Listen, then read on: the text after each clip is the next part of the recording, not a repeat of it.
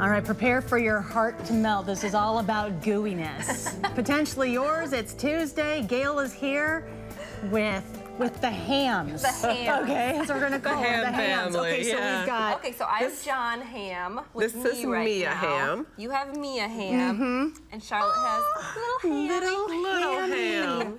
Hammy ham. Oh my goodness. Are a stray litter that came to us that was just found without their mom, and so we had took them in and uh-huh. trying to help them Hi, baby. be loved and ready for adoption and they are still pretty little so they haven't mm-hmm. been spayed or neutered yet mm-hmm. so they still need to do that and I think we'll work with you on um, a spay contract or try and see if they are uh-huh. old enough to be spayed or neutered soon. And you- Because you, don't know how old. Right, because really. we don't It's know. just- By their size, we mm-hmm. think only about maybe two, Two a weeks. month, a Ah, month, okay. a little over a Yeah. month. They're And now, would you want these little. all to be adopted as a as a family no, together? they preferably? don't. No. At this okay. age, it's really okay for them to go on their own, but it's kind of fun to get two or, or mm-hmm. three. You Yeah. could get all three. They know each other, but they definitely don't have to go together because they are young enough that Yeah. they don't need to So have them. say that somebody already has an adult cat at their house. Right, Who's, you know, right. Mm-hmm. pretty mellow and whatever, cool.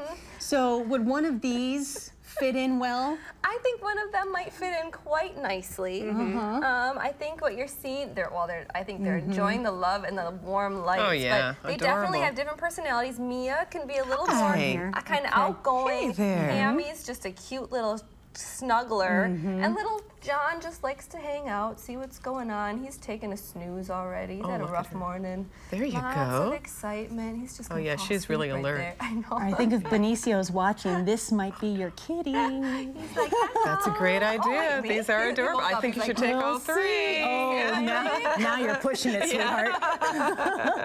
So they're so great, and it's you know fun to see the kittens that we have, and we're starting to get into kind of that kitten season. We're seeing more. Mm-hmm. Um, definitely not as many as we normally had, which is good. I think people are spaying and neutering Yeah, their animals, yeah. and that's important to make sure that you keep that animal population. So if this is going to be like a new pet owner, just give us an idea of what things they would need to purchase along with the the, the kitten. Right, lots of toys. You want to make sure you Mm-hmm. have the time to spend with them because they're still going to want to play and have lots Mm-hmm. of kitten energy. Uh, make sure you kind of kitten-proof some parts of your house and um, help them learn with their litter box. They are using it very nicely at the, sh- the shelter, though, so that's good to know. Yeah, especially, I mean, for this little, look at this little pint size, know, you know? just a teeny- Little itty bitty spaces. Yep, You will lose the, Yeah, you will yeah. lose the hams right away. The hams will disappear if you're not careful. You'll have to go on a ham alert.